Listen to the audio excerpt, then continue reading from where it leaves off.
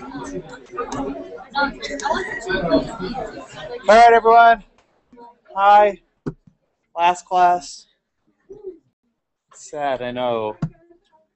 Don't cry. You're crying? No. Good, don't cry. You'll be better off without me.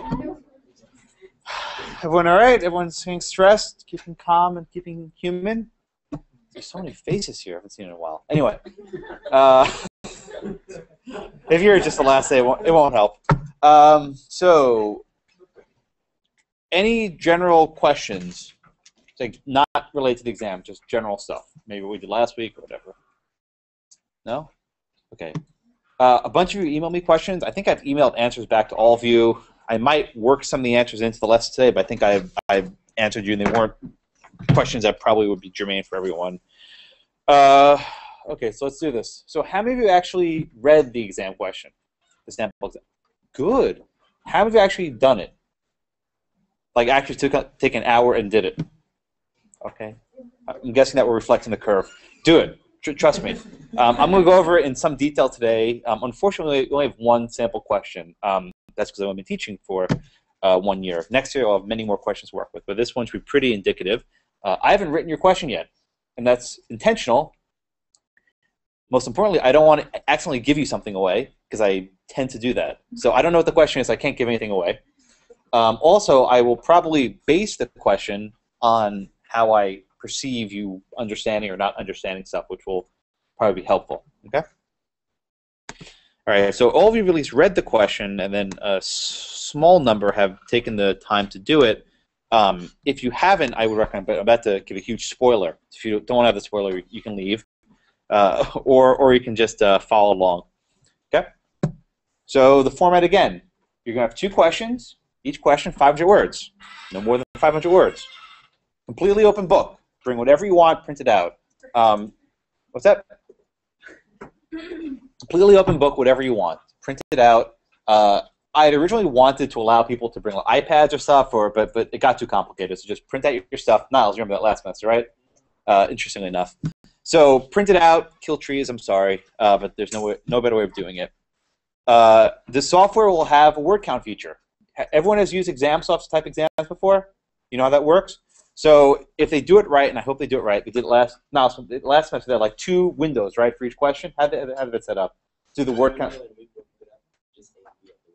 But there was a way to do a word count for the separate questions. Right. So can you explain that? Because I don't think they might have done it. Continues to count. So once you get to the first one, you stop at 500, click the second one. But there's a way to highlight it and then ask how many care. Right for the selection, right? Mm-hmm. Okay. So there's a couple ways of doing it. The way I think would be better is there could be two question boxes. That's what I wanted, but either way it works. In any event, you can select, do a word count, not a problem. If you is anyone choosing to handwrite?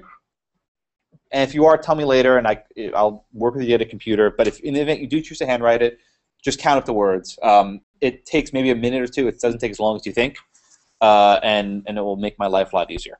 Okay. Okay. So the instructions. These will be the instructions in the exam. They will not change a word. Just read them now. It'll save you 15 seconds in the exam. So you have three hours. Time won't be a problem. I think Niles last year time was not really a factor. I think most people finished on time. Yeah, time time wasn't a factor. Uh, the challenge will be getting it down concisely. That's a word. Uh, okay, and, and don't don't cheat. Don't do anything stupid. Um, I, I've heard stories where people like go into the bathrooms and talk to other people. It's just just don't do it. That's the kind of stuff that if you get caught, they report to the state bar and you'll become a lawyer. Um, it's it's just not worth it. Repeat the class, just you'll still become a lawyer. Um, generally speaking, it's very hard to be kicked out of the bar in the first place, but it's very hard to get in the first place. So when you apply for the bar, it's something called a character and fitness exam. We have to list all this stuff, and any kind of disciplinary action taken against you, either for college or law school, goes on there, and you will probably have to justify to the bar why you should be, uh, you know, allowed to go in. If you're just starting off as a lawyer with no experience, and you say cheated two years ago, it's to be very hard. Uh, maybe if you've been a lawyer for 20 years, you have one active indiscretion, you can say, you know, this isn't my this isn't my normal behavior. But if you're just starting out, it's a very it's a very uphill battle. So just just don't do anything stupid. It, it's it's not worth it. Take the F, take the D. Don't don't bother cheating. Okay. So my advice is after you get the question, the example, the instructions are here. Go down to the bottom. and recycle the prompt. You'll see like a dash or a line or something to separate it. This will help guide you towards the right answer. Um, don't jump right into the fact pattern. I would recommend going through line by line the prompt because this will focus in what you need to write about. Even in your notes, you can just mark down like I have to keep my upper for this name. So you see, okay, with respect to Gonzales, okay, that's a piece of property. Uh, Austin, A. Bowie, B. Eustache. Is it Eustache? How do you say it in Texas? Eustache? Eustache? Eust- say it again? Eustace? Like not like Eustachian tubes, but Eustace? Okay. And and Hatena. So just mark off the names and the dates. So this is just in your head flagging it. Because when you want to approach a fact pattern, you don't want to waste your time. You want to write about what I want you to write about. See, if I was a jerk, I would just say discuss, right?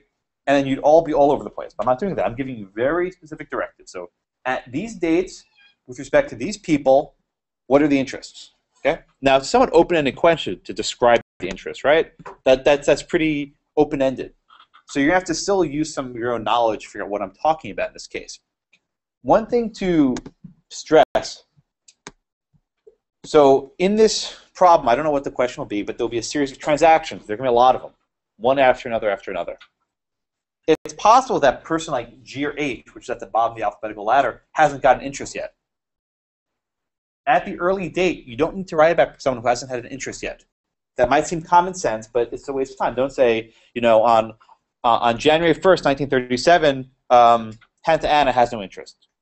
You don't need to write that. Right there. The person has no interest. You don't need to discuss it. Don't waste your words and don't waste your mind. Uh, because they're going to be probably.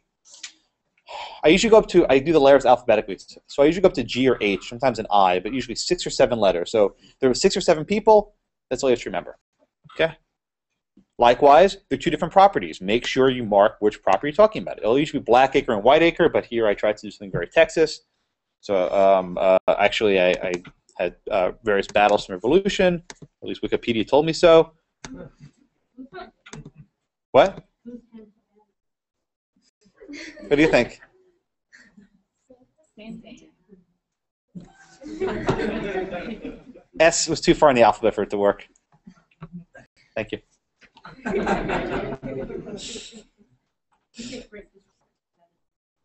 Oh yeah. Perhaps, perhaps. Yeah, I was, I was actually at the uh, the international festival this weekend. Did anyone go? It was oh, you're studying files. It, the Brazilian international festival was really nice, and this one guy had a huge "come and take it" flag, and like he didn't know the history, so I had to explain it to him. I was like, "Yeah, it's Bell of Gonzales," and he didn't know it. So anyway, I'm explaining Texas history. There's something wrong with that. He just liked it because it had a cannon on it. Uh, guys have trash fire like you did about the rodeo? No, this was nice. This was a Brazilian. No, no, this this was actually a Brazilian festival. It was actually really nice. It was still international. He seemed all the No, no, I was scared of it. I, I it petrified me. Petri- The second time was better, but the first time I was petrified. I went back though. I, I went back. Anyway, so let's let's walk through this. We never talk trash about the rodeo. I even put a rodeo joke in the problem. You noticed that, right? Okay, so these people didn't read it. Okay, got it. So let, let's go through it. All right, so there's always going to be a prompt. So it's going to be like uh, you're always going to be either clerking for a judge or working for a law firm or you're an associate. So the setup here, it's 1839, a few years after independence. Uh, the Republic declares independence. You're clerking for the Chief Justice of the Texas Supreme Court. Okay? Yes, ma'am. Oh. Okay. Uh, oh, do, you know, do you know Professor Paulson, by the way? He's actually an officer of the, of the Republic of Texas. Uh, slight deviation. It's actually a really good story. So, the Texas Supreme Court met during this brief period between independence and when it became part of the United States. It was this brief period. And the reports of this court were, were deemed lost forever. And he discovered them in the archive somewhere in Austin. So he actually wanted to publish these reports in the Texas Supreme Court as an official opinion, right? But in order to do that under Texas law, you have to be an officer of the state. The state of Texas, the Republic of Texas no longer existed. But because Texas allows all previous laws to be carried over, the Texas Supreme Court had the authority to designate him as an officer of the Republic of Texas. So he he's actually an, uh, uh, the only living officer of the Republic of Texas. He has a certificate in his wall. It's actually really cool. And in fact, the statute called for him to be paid in gold, but he didn't gold or the Texas dollar, but he didn't enforce that one because it's anyway. So so you're a law clerk. Uh, prepare a memorandum. Okay, 500 words. Don't go over. Just I think last year one or two students went over, and I just stopped counting. So just don't go over. Like when when it prints out the exams for all of you, it just puts the word count right at the top, so I, just know exactly how many words it is. Okay. Okay. Next. If you go, if you go over, you don't read it. I stopped reading at 500. Oh. Yeah, I don't, I don't pick 500 the best words. That'd be a better way of doing it, but there's no good way of. I'll just ignore the wrong stuff. Okay. So one thing to keep in mind, I'll probably have something like this. So a lot of these questions are open-ended. So if you did it and your friend did it and you got different answers, don't worry, you might be right, and they might be right also. I write these questions intentionally to be as open-ended as possible because I want to give you room to show me you know your stuff. I don't really care about any particular answer. I want you to show me that you've internalized everything we've done in this class. That, that's what this exam's about. But if there are multiple options and you're aware of it, tell me about it. Say, well, this can happen or this can happen, and of course, more likely to do this. This shows me that not only do you know the majority rule, maybe you know the minority rule, and uh, uh, you can tell me maybe which one which one's better. Okay. I'll also tell you what kind of law is applying. Uh, I don't think I'll get in this class much more detail than something like this. It'll probably just be either the common law rule or the modern rule. Um, we didn't really talk about much more than this. Usually first restatement or third restatement. If it's first restatement or common law, it's the old stuff. If it's third restatement or modern stuff, it's all the new stuff. And you know, the general gist is the new stuff's more fair and more uh, uh, balancing tests and more touchy-feely. Okay. Okay. All right. So. All right, so 1836 it was a revolution, and actually it's Texian. I looked it up. That's a proper term for a, a Texan during the Republic of Texas, not Texan, but Texian. Uh, so Austin claimed ownership of two plots of land, okay, Gonzales and Alamo. Um, pay very close attention to how a person acquires a piece of land. Um, invariably, uh, people will be getting land that's not supposed to be theirs, or they're going to try and give away land that they don't own, or they're going to try and take land that they shouldn't be taking there are a hundred different ways I can do it, but just pay very close attention to how people acquire land at every juncture. Okay. So Austin's about to die. He's not married. Um, that's important because as far as joint tendencies go, there's no uh, spousal survivorship. Okay. So he has three kids: uh, Bowie, Crockett, and Dusk. That, should be Rusk, in case anyone was wondering. Thomas Jefferson, right? Wikipedia told me well. Okay, and these several several friends, Eustace, Fannin, and, and uh, should be Lamar, but I didn't get to L. Okay. If you want to see funny ones, go look at my Jersey Shore fact powers, like AWOW and Fookie and Cangelina. I just had to uh, had to go for it. Okay, so there are two conveyances. So let's look at each conveyance at, at a time, and I'm going to walk through this one step at a time. So let's first look at uh, uh, January 1st of 37. So on January 1st of 37, there's a conveyance. It says, I convey Gonzales, I being Austin, so Austin conveys Gonzales to Bowie for life, then to Eustace and his heirs, so long as a canon remains in Gonzales. Okay? So let's try and figure out what our interests are. Okay? Uh, I don't know. Stephanie? So what interest does Austin have?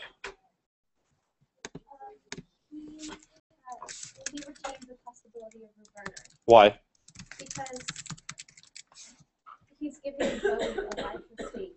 So, oh no, it's because he uh, because Eustache has a fee simple determinable, so the future interest Yeah. for fee simple determinable is a possibility of reverter. That's right. So Eustace, that's right, has a fee simple determinable. And actually, if you want to be precise, he has a vested remainder in a fee simple determinable. Because it's not it hasn't happened yet. Because in the middle of this, um, Candace, what interest does uh, Bowie have?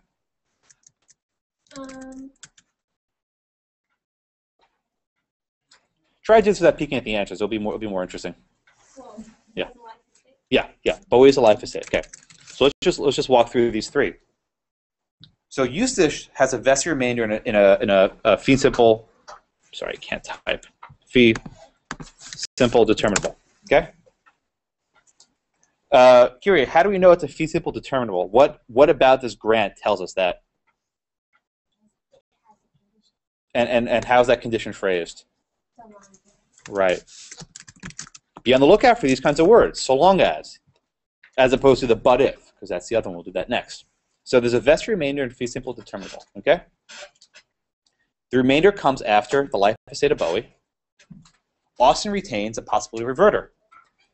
That's one you have to memorize. You have to know that fee simple determinable links up with a possibility reverter. Just you have to memorize that. And there's a chart. It's in the notes. We did it like a four or five times.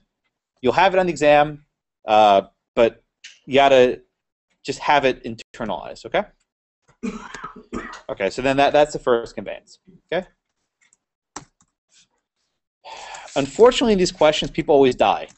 Um, lots of people die because in property law, property usage changes hands at death. So people, there's a lot of deaths, be a lot of blood, and they're going to die very quickly and usually in, in various creatively grotesque ways. So okay, so Bowie dies. Okay. Okay, so then uh, uh, uh, Willis, tell me what happens when Bowie dies Uh, on his Bowie knife. well, uh, it goes uh, to Eustace. and How do say that name? He, I mean, the life estate's done. Right, right, but right, but what estate does Eustace have now? Uh, I mean, How would we describe his estate? uh, it's like contingent on. I mean, it's contingent on whether he. No, no. Let's look at this one's easy. So one minute ago, uh, Stephanie just said he had a vested remainder of fee simple determinable, which follows Bowie's life estate, right? Bowie's dead. That life estate's gone. So what estate now does Eustace have? Fee simple, determinable. Exactly. All that means is his remainder came into uh, uh, came into effect. His, his remainder came in. Okay. But he only has that fee simple determinable so long as what, uh, Reese? Uh. Yeah. So long as canon. Okay. Okay.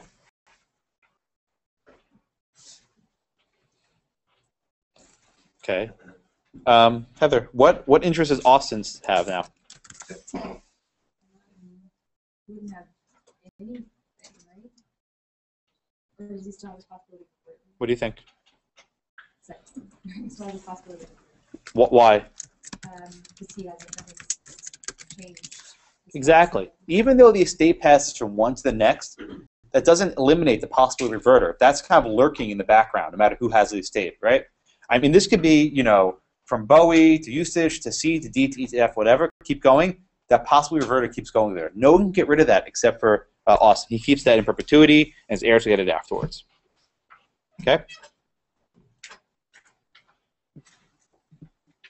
Uh, uh, uh, uh, sorry, Sarah. With the possibly reverter, would it be necessary for Austin to enter in order for him to retake the property? Why?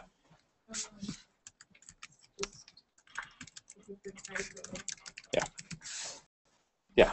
Yeah, yeah. There's for with a possibly reverter, there's no right of entry required. Necessary. We'll do an example about a minute, which which is the other one, which requires it. Okay. Everyone good so far with the first two dates? Okay. So let's just keep going. Go to February 1st, 37. Sorry. Uh, okay, so there's a conveyance here. It says, I, that is Austin, convey the Alamo to Crockett and Dusk jointly. But if the Alamo fort is not maintained, then to Fan and his heirs. Okay, so let's let's do the first clause. So Aaliyah, I convey Alamo to Crockett and Dusk jointly. What what interest is given to Crockett and Dusk there? Um, they're joint tenants and they have, um, Good. Joint tenants. I don't know, they have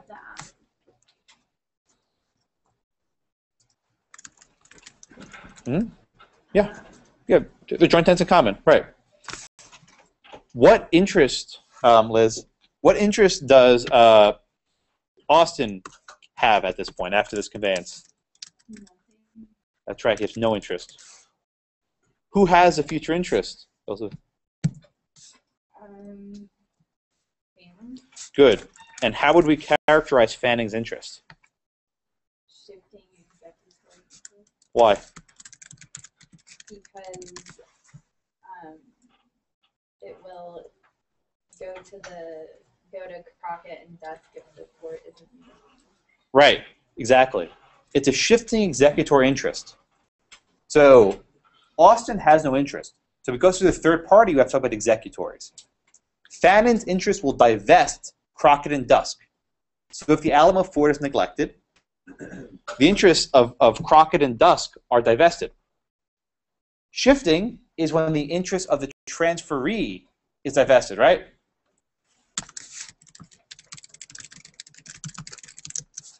Springing, remember, is if the interest of the transferor is divested. Remember?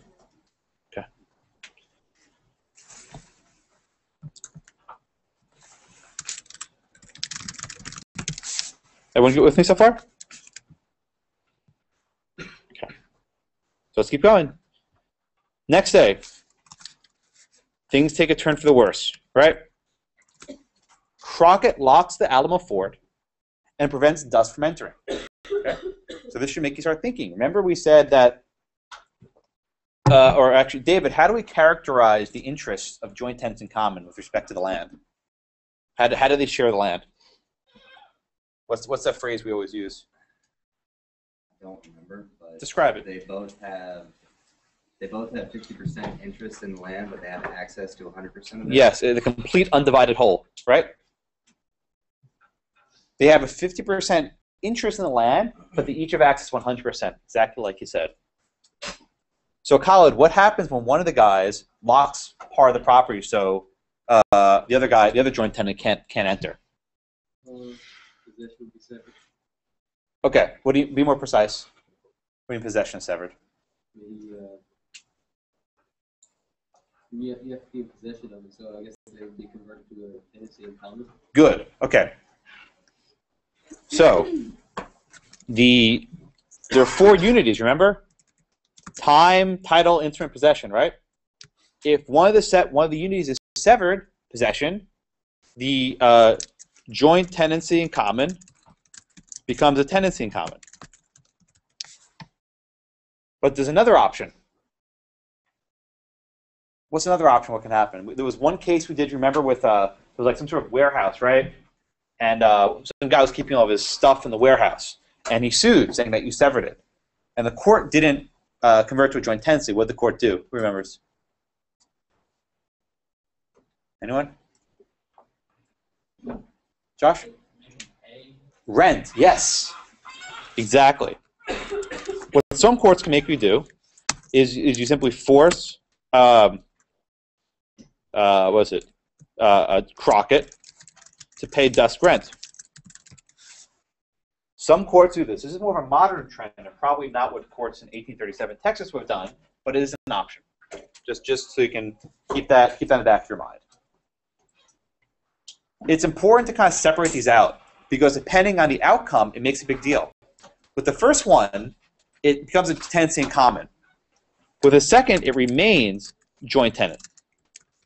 And this matters a lot in a minute whenever people start dying. Right? Everyone good so far? Yes, sir. Is the um, is the unity of possession only broken if he demanded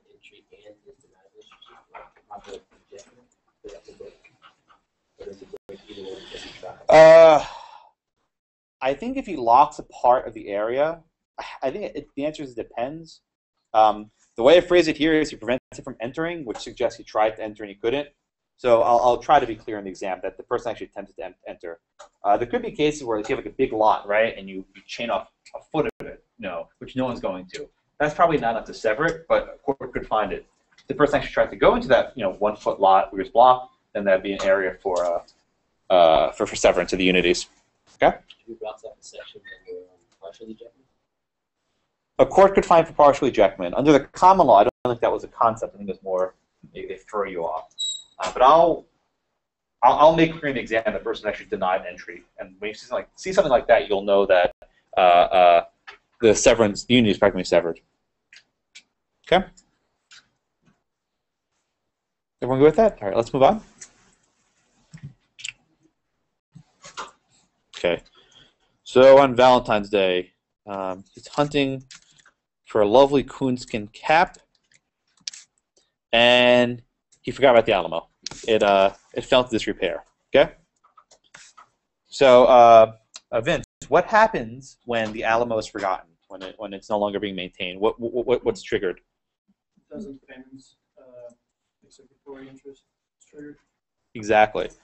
So there was a, what, what we call uh, a condition subsequent, right? It's triggered. And then Fannin's, uh, as we said before, his uh, shifting executory interest uh, uh, comes into effect. Okay? But, uh, Parker, does the mere fact that is a shifting executor interest comes into effect, is that enough to give him possession? Just just just by the moment. Okay, let's go back to the let's go back to the grant. Right? This is the grant. The Alamo's forgotten. Is that mere fact enough to give it automatically to Fannin? I don't think so. Why?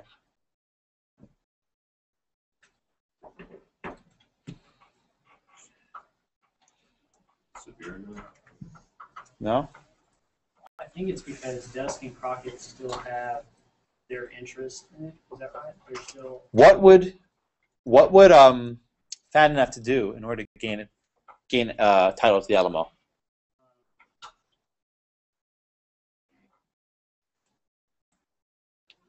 it's gotta become, uh, Okay, so so before with Sarah, I asked her with this grant, right? I asked her, does Austin need to enter in order to take the property? And she told me no. And the reason why, why'd you say there? Because this is a part you've just memorized. These are up. This, fee simple, determinable. Let's go back to our handy little chart here, right? I swear I'm not making this up. We did this, right? Fee simple determinable, right? So long as with the future interest, I swear this is right from our notes, not making this up. No entry required. With a fee simple determinable, so long as the future interest does not require entry. Here, we have a different grant. Uh, Corey, what this but if language? Which type of a state is the but if associated with? Um, There's one in terminal, or, uh, uh, Just say it. You're on the right track. What is it? the conditional, or, I don't know, I can't remember. the name. I got to remember the names. Uh, This guy, Brittany. You remember the name? uh, Whoa, whoa! You said it. Yes, yes, yes, yes, yes, yes. Thank you. This is a fee simple, subject condition subsequent. Remember the keywords. However, if it's satisfied, if the condition is satisfied. But the future interest is called a right of entry or right of reentry. The key for those is you need to actually enter, right? You need to enter. This, I told you, you to memorize this table. Even if you have this in front of you, it's still not going to help you. You still need to have it internalized. Uh, that's why the open book doesn't, doesn't really matter. So going back to the exam, we have this grant.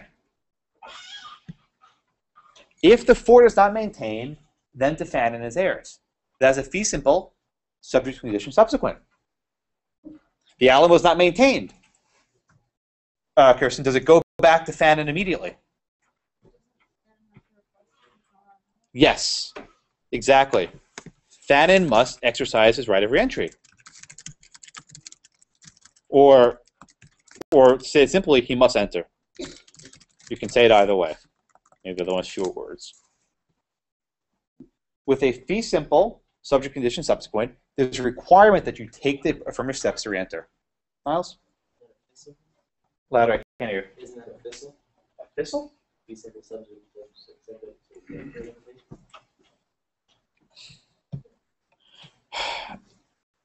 Yes. Okay, yes. And this was a part that the terminology starts breaking down. So it's, and this is why, remember that there was that table in the book I didn't like?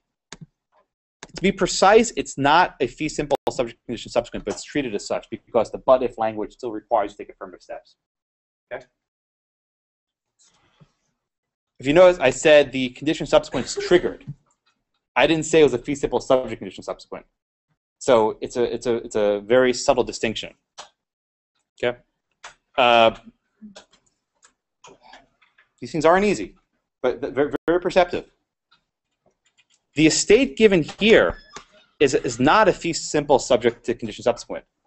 It's a fee simple subject to an executory limitation, which what Niall said. But it's treated as if it were condition subsequent. Okay? This but if language, this should just raise a red flag saying condition subsequent. Right of reentry is required. It still requires Fannin to take affirmative steps to enter. Okay? If you look at the way I phrased it in the, uh, yeah, let me, I'll show you how I phrased a sample answer. By the way, you don't have to get things these perfect. I mean, I- it's these are very somewhat. The terminology is difficult. As long as you describe the right way to happen, you'll probably get almost all the credit. So what I wrote was, failing to maintain the Alamo is not enough to trigger the condition subsequent. It still belongs to Dusk and Crockett, either as joint tenants in common or as tenants in common. Fannin would need to enter for its interest to become possessory. That's the probably the most precise way of saying it. Fannin has to take steps to get in. Whereas Austin's possibly a reverter in the question before happens automatically. It triggers right away. Fannin needs to take these steps.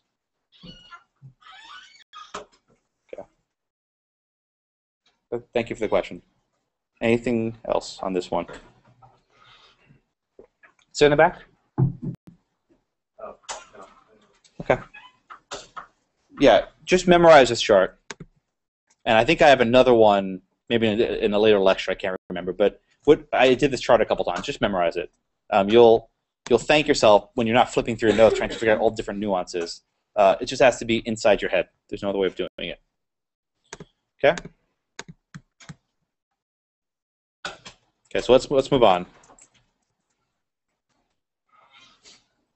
Okay, so now we're at May 1st.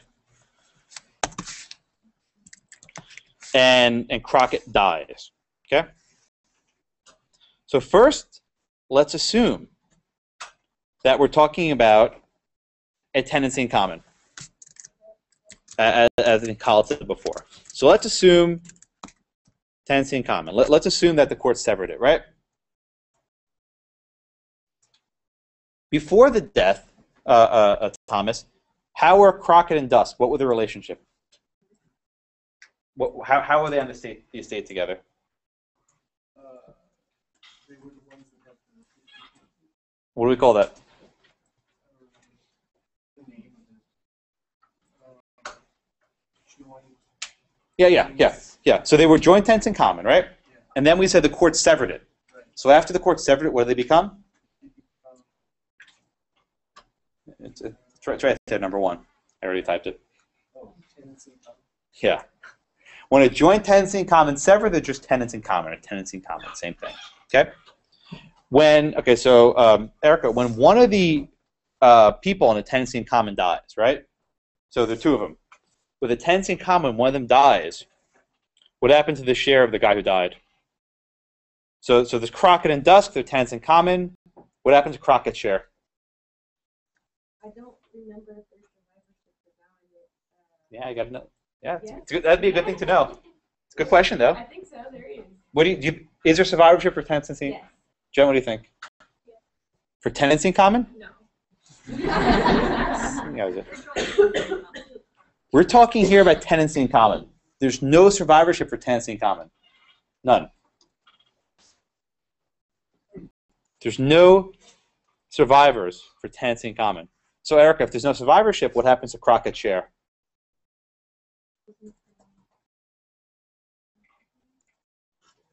Louder? I don't remember. Maria, do you remember? Uh, does it go to the other one? Um, is it them? No. See, that's what happens with survivorship. Well, where, where do you think it goes? Where does stuff usually go when someone dies? Yeah, heirs, yes, heirs, exactly. So if it's a tenancy in common, there's no survivorship rights. Uh, Crockett's sh- uh, share goes to his heirs. Everyone see that? This, yes, sir.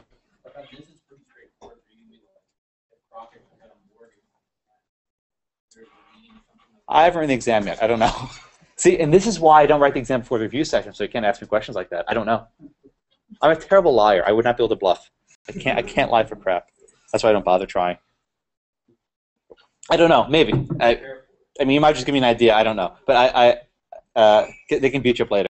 But i if it's in the textbook, if it's something we cover in class, it's fair game. Um, I don't go anything outside. I mean, the way I write the exam is I go through my lecture notes page by page, and if I cover it in class or something mentioned in the textbook I talk about in class, it, it's fair game. I don't look at anything out- outside. Yes, sir. If no errors, That's right. Uh, yeah, and that that's actually uh, uh, this happens later in the questions. I'll get to maybe 20 minutes or so. Okay. Questions. Okay. So here, it's tenants in common. There's no survivorship rights. The Crockett's shares go to his heirs. So Mr. Dusk gets a new roommate. Okay. Okay. But now let's assume that it's still a joint tenancy in common. That is, the court ordered a, a payment of rent. So Manny, with a joint tenancy in common, are there survivorship rights? Yes. Yes, survivorship rights. Yes. So what happens to the share of, of Crockett? They go to, uh, Crockett share Yeah, where do Crockett's shares go? Who got some? to whoever has the other. Yeah, yeah, Dusk. Yeah, yeah. So Dusk gets Crockett shares. And at that point, Dusk has fee simple. Right?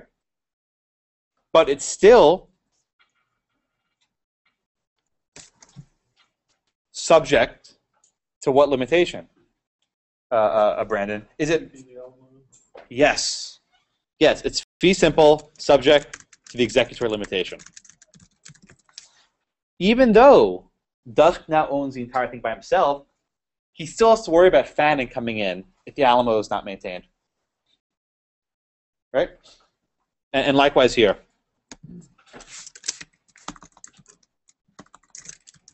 In the first one, the Tenzing common is still subject to the uh, to the uh, the shifting uh, executory interest. Okay, you see there are different ways to phrase it. You can say executory limitation, shifting executory interest. Shifting executory interest is probably more precise. I'd be happy if you wrote that, but if you say executory limitation, that's that's still that's still correct. Okay. So if you were to convert this in the exam, if you gave me both one and two, the paths on one and two, that shows me you really know what's going on. You can figure out both of the maps. Everyone good so far? Questions? Let's let's keep going down the uh, calendar. Okay, so we see that on May 14th, um, there's a conveyance. Okay. It says, Dusk says, Alamo to myself for my life. And then to Gamar and his heirs. Okay. Just looking at this conveyance, if you notice, um, in the prompt at the bottom, I didn't ask about May 14th. So be very careful. Don't write about stuff I didn't ask for. You're going to do it. Don't do it. I'm only discussing it here because it's interesting, but I mean, it's helpful to develop. But don't write about stuff I didn't ask you about. There's a reason why I didn't ask. Okay.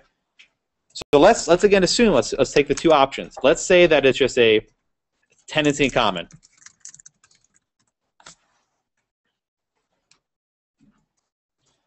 If this is a tenancy in common, who are the two owners of the land, Sonia?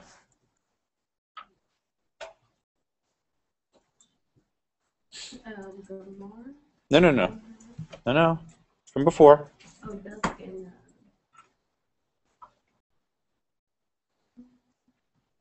Yeah, dusk in the air. Okay. So if there's a tenancy in common, it's 50% dusk, 50% heir, right? So Sonia, if that's the case, and thus says, Alamuds myself for life. Is that a valid conveyance?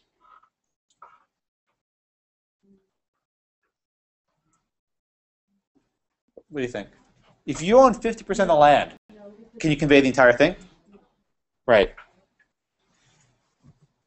So the conveyance is void. He can't alienate this thing in fee simple because he only has a half interest right? He could sell his own 50% interest. There's no problem with that. If you're a joint tenant, you can sell inter vivos your interest, but you can't sell the entire thing. Okay, so so that interest is void. Okay. Now let's assume that it's a joint tenancy in common. And, and Michael, if it was a joint tenancy in common, what percentage of the land does Dusk own? He owns all of it. He owns 10%. Can he give himself a life estate from that? Yes, Why? because he owns all of it. Yes. I know it's weird to give yourself a life estate, but there's nothing wrong with it. If you own fee simple, you can chop off a chunk of it. In other words, you can take some of the sticks from the bundle and give it to yourself. You can give yourself a life estate. but that life estate is still subject to the executory interest of Fannin.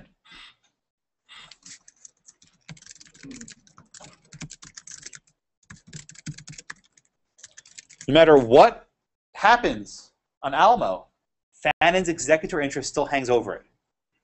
You can't get rid of that. Okay? Okay, so then we have the next day. So Crockett's funeral, Fannin finally figures out that the Alamo's in disrepair. And he tells Dusk, I'm coming in. Okay. what happens to Lamar? He just Well, Gamar, we'll get to that in a few minutes, okay? Oh, go, well, okay, good. So, what, what interest does Gamar have? I, I forgot. I'll describe it. Ha, what's in the first one? The conveyance Gamar is void, but in the second one, what, what interest does Gamar have? How would you So describe you it? the first one is second one is. Well, well, if it's a tenancy in common, right? Gamar, uh, uh, Dusk can't convey the entirety, so the entire thing is void. But in the second one, he can do that. So if he says to myself for life, and then to Gamar and his heirs, what interest does Gamar have? Does he have fee simple now? Well, think about it. What happens when you have a- an interest that comes after a life estate? What do we call that? I don't know. Anyone? I heard it. Remainder. Yeah. And and it, it's really it's a vested remainder because it's certain to happen. Gamar has a vested remainder. Once, uh, uh, uh, what's his face? Dusk dies, right? But even then, the vested remainder will be subject to the uh, to Fannin's interest. You can't get away from that. No matter how many times you convey it, that is still lurking in the background. Okay? Everyone good with that so far? All right, let's let's move on. Okay, so there's a funeral. Come on, Erica. With this sentence, how can you say hate the rodeo? I, I was petrified. It scared me. I thought I was gonna get killed by the by the little sheep. Ugh. the most non.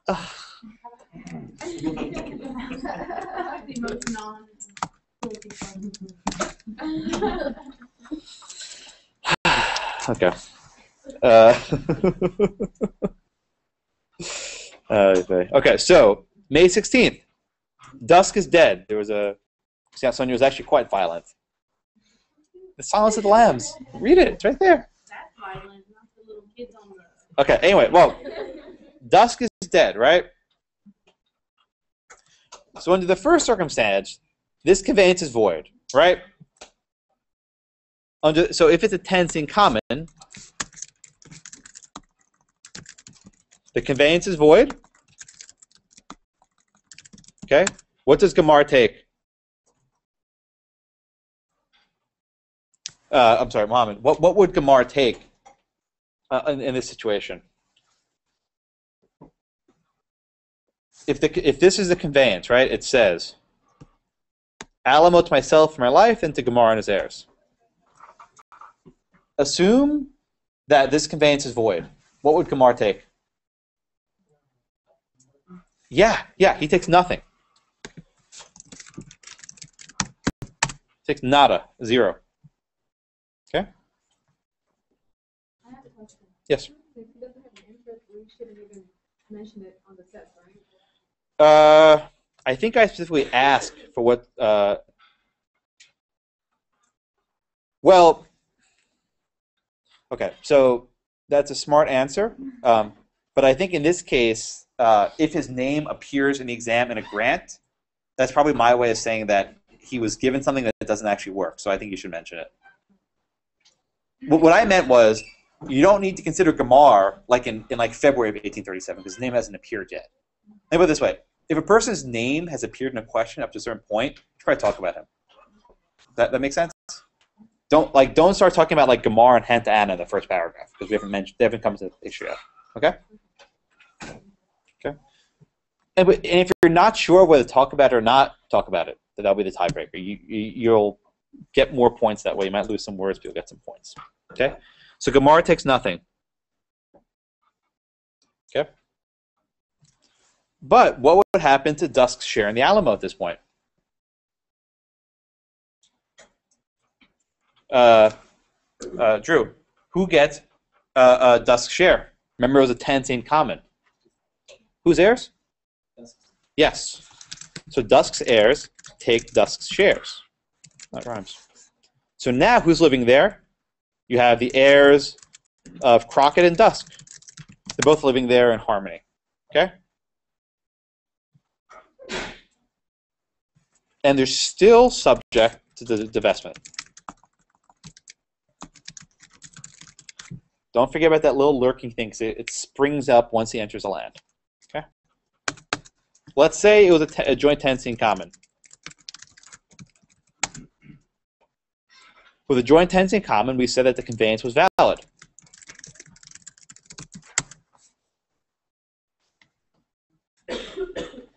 Uh, uh, Zach, after the death of Dusk, assuming that this conveyance was valid, what interest does Gamar have? So then Gamar would have the simple. Yep. subject to the text or- Perfect.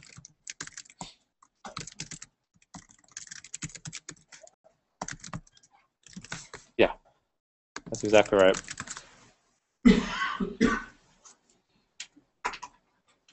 Uh, by the way, actually, I wrote this question intentionally with the two paths because I want you to see how the joint tenancy can spawn off.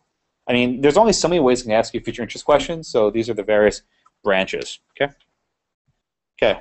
So he's dead. So now, finally, on May 30th of 87, finally, Fannin enters and demands access. There's no question he's demanding access. Okay? We learn, or actually, uh, uh, Steve, what happens the moment Fannin enters? Yes, now Fannin owns a fee, fee simple.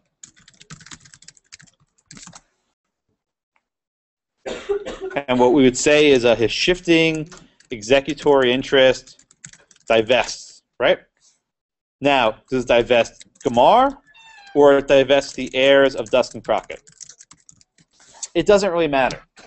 Whoever's living there gets kicked off. Fannin now has it in fee simple. Everyone see that?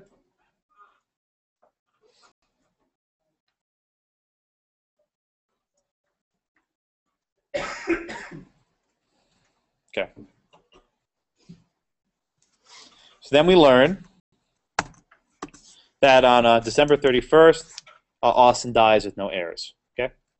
And Jameson, to your question before, if you see someone dies with no heirs, start thinking about the Eshit or Eshiat, because this guy goes somewhere. Your land can't just disappear. Okay? So then, next year, we have uh, uh, January 2nd, 1938 or 1838. And this is going to be kind of a, a more kind of stuff we did beginning of the semester. Um, don't forget all the cases we did about hunting foxes and hunting whales and uh, finding jewels in the street and all those other cases we did the first six weeks. Uh, I will find a way to test it. I'm not sure how. But the reason why I did the Texas question is I wanted to do the Johnson versus McIntosh issue because it was an interesting way of doing it. But don't forget all the stuff. I, I promise you'll get you'll get stuff on it. So Hannah claims that in 1824 he bought the same land from a bunch of Native Americans who were in Gonzales, you know, people who lived there before. Eustace kicks him out. Okay. Uh, Emily, who wins? Say, say for example, Santa Anna went to the U.S. Supreme Court and he sued Eustace, saying that you know I have a claim to this land. Who would win? Why? Uh, because the Indians, Yeah, what did that case say? Um, the. Yes, yes, that the uh, that the Native Americans uh, with a lack capacity to con- convey land. And and 1824 was actually the year of Johnson versus McIntosh. If anyone realized that, points to you. Uh, but if you didn't, that's okay. So yeah, uh, Naval, so Santa Anna has no claim that it belongs to Eustace. Okay. Okay, so then at the very end, on uh, February 1st, 1838, Molon Labe, right? Come and take it. He come and took it. He sees the cannon. Going way back up, uh, uh, Taylor, what happens when the cannon's removed from Gonzales? What, what happens for the initial grant?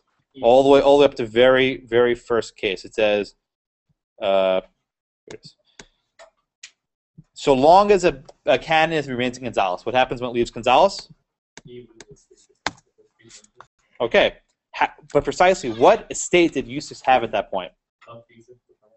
Good. So Eustace had had a, a fee simple determinable, which was divested. Right? Because the cannon was removed. Now, the trickier part, though, Michael, who gets it? Go back to the grant. What what was the interest of Austin, the grantor, in this case? Yeah, we said it all the way up front. What interest, just from this grant, what interest does Austin have? Or what, what did he have, I should say?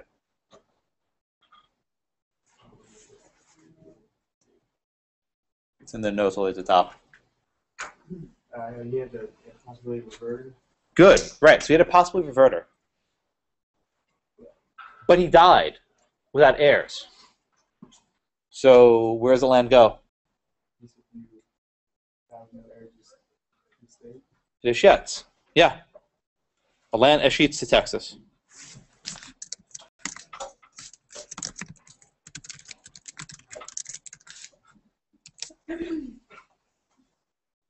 Okay. That's actually it. That question, so we had 25 classes, right? This question covered about 13, 14 of them, give or take. My goal is with both questions cover every, all 25 classes. There might be some overlap, but I, but probably not. So everything we learned this semester will be on the exam. Uh, you're not gonna you- you're not gonna get away. I mean, the only thing I told you is fee simple uh, is Rogan's perpetuity. So I won't test on that, but none of you were here, so it doesn't really matter. Um, that won't be in the exam.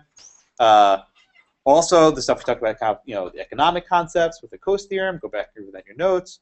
Uh, think about, you know, the various means of acquiring property with that law.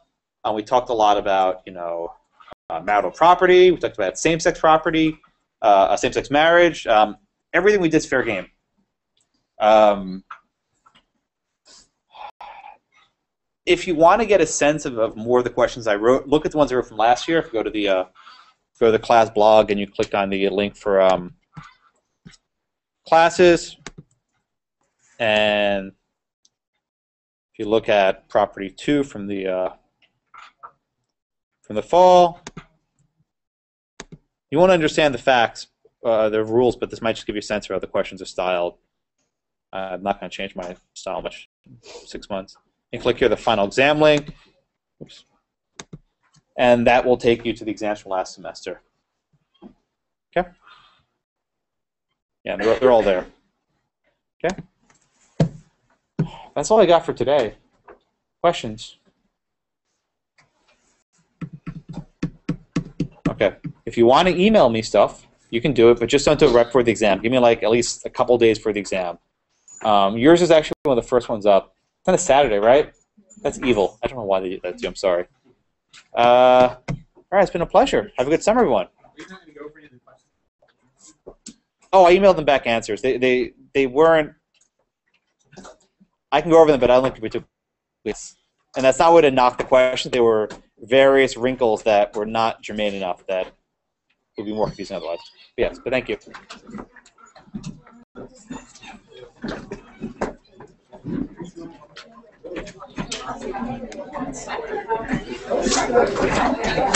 Oh, you did you have your leg fixed? I took off the brace for a second. Okay. Sometimes